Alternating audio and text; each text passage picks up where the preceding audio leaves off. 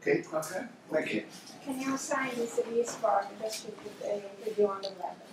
So I, I prepared my questions. Uh, so I, I ask you the question in English, and then uh, she you speak, and then she translates. Okay. And then I will put subtitles in, in the video. Oh, okay, great, thank you. So, The Cry of the Wolf was your first novel. Why did you choose to start from a wolf? well, it was it was actually came about because I was uh, I was listening to a radio story about wolves in which wolves were the baddies. Okay, and uh, I thought how wolves are always the baddies in, in Europe in particular. Uh, the very first baddie you ever come across as a child is the big bad wolf. And it's not true. Wolves are much uh, kinder animals and um, family animals and uh, much more interesting than that. So I decided to tell a story in which I would get my own back on behalf of the wolves. So, uh, uh, you know, uh, in, in Aesop's fables, the wolf is always just called the wolf. But in my book, the wolves have names and families and children and so forth. And the man who's hunting them is just called the hunter. So The Cry of the Wolf, the hunter has the character of the wolf in Aesop's fables. So it's my revenge on the part of the wolf. Because, of course, in England we have no wolves. Well, we killed the wolf hundreds of years ago, and nobody wants them back except me. Uh, can you describe us uh, Ben, uh, the protagonist of the novel, the, the child? Ben. Well, you know, the, the, the idea of Ben is, is that he loves the wolves very much, but he's very proud of the wolves. And, uh, and the opening of the book, he's trying to shoot water rats, and uh, a little man comes along who uh, shoots much better than him, and he's really impressed, as children sometimes are. And uh, the man says that he's a professional hunter, and he goes all around the world killing animals. Ben's very, very impressed, and asks him if he's here to hunt the wolves. And Ben shuts his mouth because it's a big secret. Nobody must know about the wolves.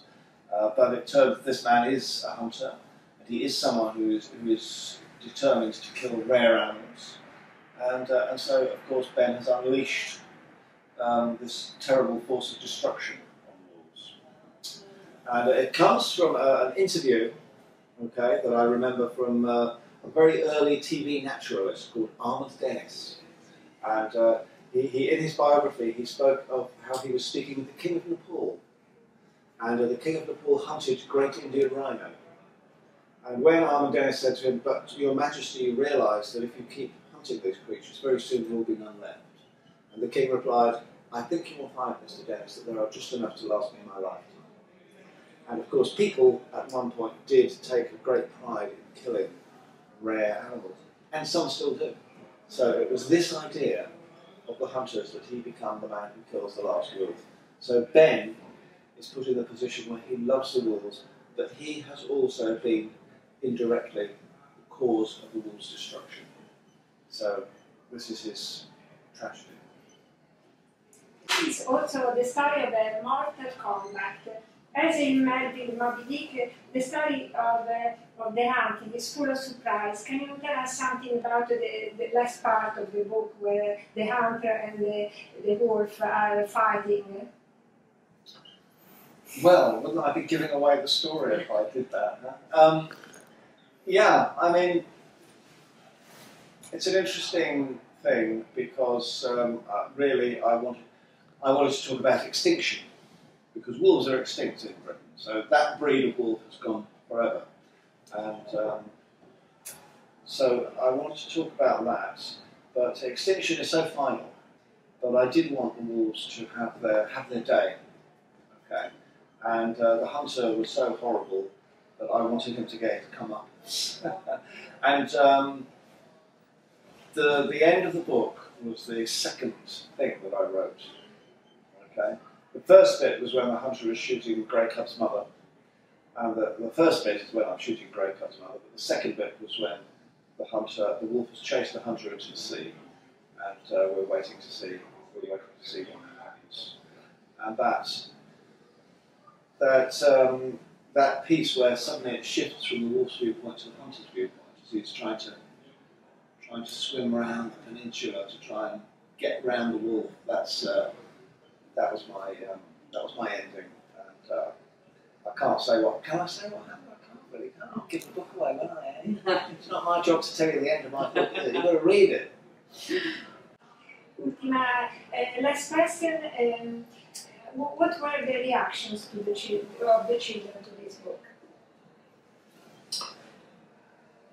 Well, you know, they they, they liked it. You know, I think they um, everybody has read uh, stories with the big bad wolf in. So uh, there's a trick in the book, which is that it turns it on its head. So they all recognised um, where it came from in, in a literary sense. You know, they, they all understood that, and uh, you know, it's a very simple story of um, of uh, destruction and revenge, and uh, uh, people like simple, strong stories. So uh, you know, it has. You know, it was my very first book, uh, but I still get people coming up and telling me it's my best one. Um, that would be a bit, a bit of a shame, really. But uh, it's certainly one of my one of the ones that I'm most proud of uh, because of its uh, its simplicity and its strength. And it was writing that book really that I, I came of age as a writer because before then I couldn't somehow get through. But with that one, I felt suddenly I found out how to, how to tell the stories. And also, I found out what my subject matter was because before then I'd been trying to write funny stories. so that was a real thing for me. But it's, it's always had very good reactions uh, for adults and children. It's always been of my popular